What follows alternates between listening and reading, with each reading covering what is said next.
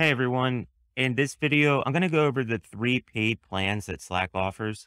So the three plans that Slack offers are the Pro plan, the Business Plus plan, and the Enterprise Grid plan.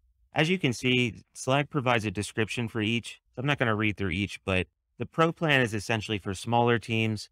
The Business Plus plan is for larger teams.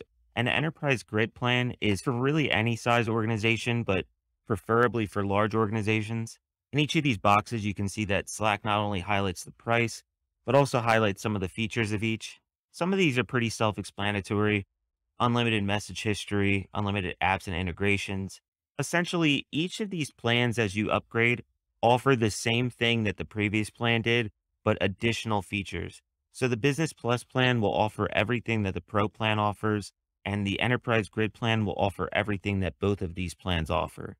The main difference between the three plans is that the Pro plan and the Business Plus plan, the administration is done at the workspace level, whereas with the Enterprise Grid plan, administration is done at the org level.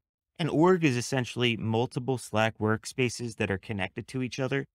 So the key takeaway is the Enterprise Grid plan is the only plan out of the three that you can make administrative changes at the org level, whereas the Business Plus plan and the Pro plan can only be done at the workspace level. This may be confusing right now, but as you continue to learn the platform, you'll gain a better understanding and a lot of this will start to make more sense. So if we scroll down, Slack actually provides an additional chart that compares the features for each plan. Instead of reading over all these, I'm just going to show you that when you hover over any of these features, Slack provides this pop-up where it gives you a description of what that feature is.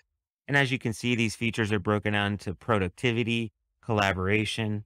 If we scroll down, security, compliance, administration, support, understanding what features are available on which plans is extremely important to understand for this exam. So I highly recommend you go over this table several times while studying for the exam. I'm going to provide the link to this table.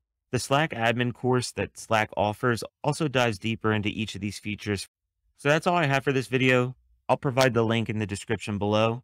Make sure you revisit this table as much as possible until you get a really good understanding of what each plan offers, as well as the limitations of each plan. Thank you all for watching today, and I'll see you in the next video.